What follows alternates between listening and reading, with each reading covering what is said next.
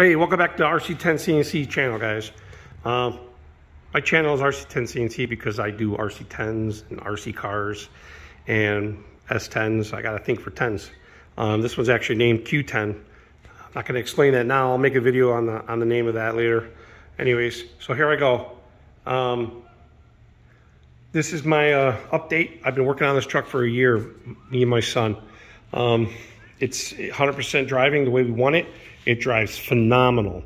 U117 wheels, 18 by 8 squared, four and a half back spacing, 225 front, and 245 or 255 in the back. I don't remember. All right, so talking about the wiring. So what I did was in the front, I rewired everything. I just tore it all out, right?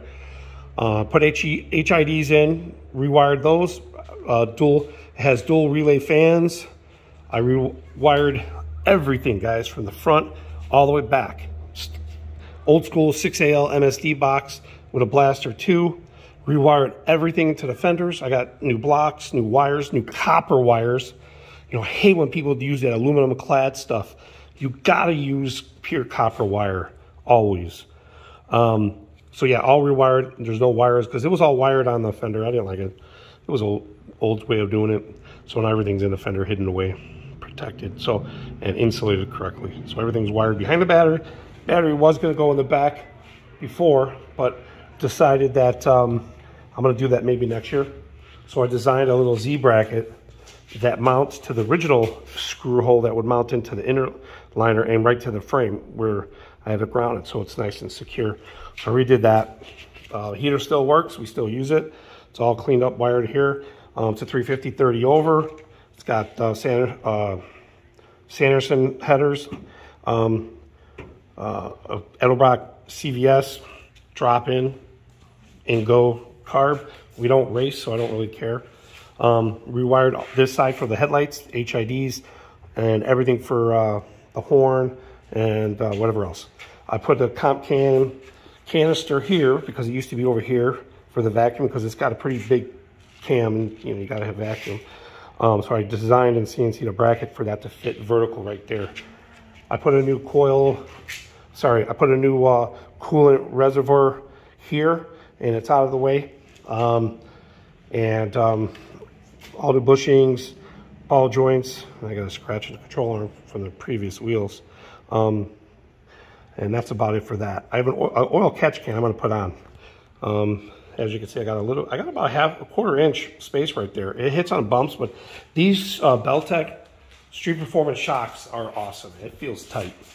Um, clear markers, LED lights in the front. I'm not sure if I'm going to switch to a black or uh, keep it black or go chrome on the bumper. I'm definitely not going to go white.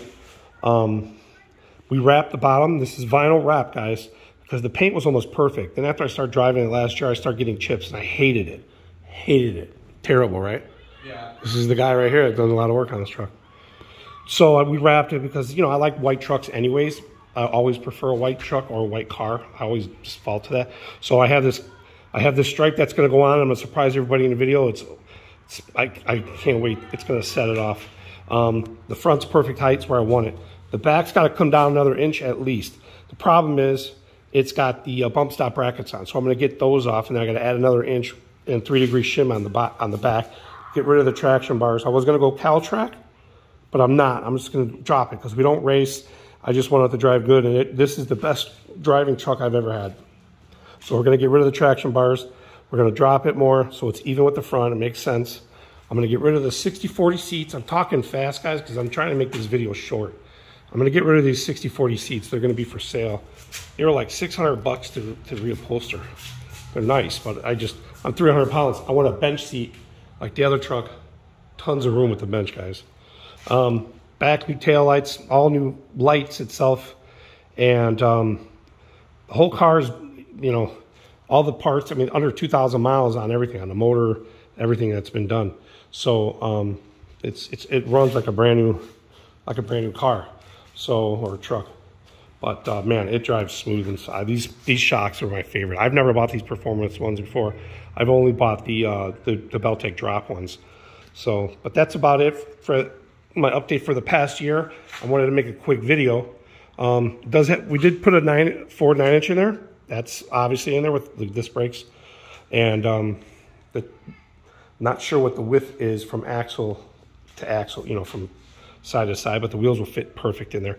Actually, the wheels on the on the white truck, the 83, they, they sit in a lot further with that nine inch that's in there. I don't know what it was cut down to, but so, but anyways, that's it guys. I just want to, like I said, I just want to do a quick video showing it, giving an update, and um, that's about it. So it's got a two inch cowl, fiberglass. Oh, I do have these uh, hood strut, gas struts to put on from Moto 360.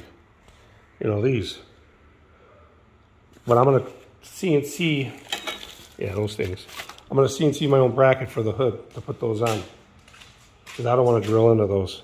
So those are clear to put in. I'm going to do those next. And that'll be it for that. Then I just got to finish that wire for the uh, relays to turn on with the switch because they, they already have a sensor, but um, they only come out at 195 or whatever. So I'm going to have it so I can turn it on all the time.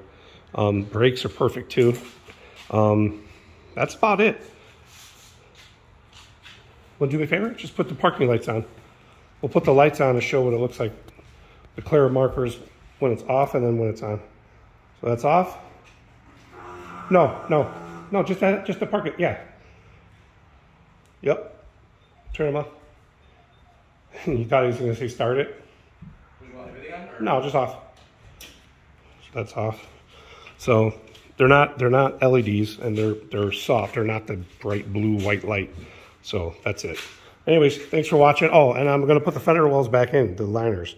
Um, I wasn't going to in the beginning, but I decided to, and I'm going to hammer away. Now that everything's off of it, we got room on that tire. So I'm going to put them back in, and hammer away the spots, and I'm not going to bag this vehicle, so it, it's, it drives perfect the way it is. I like it the way it is. There's no reason for me not to use those liners if I could bang them up and get them out of the way.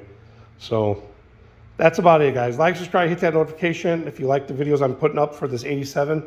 And if you got questions, comments, just put them in the comment section below. So thanks for watching, guys. We'll see you in the next one.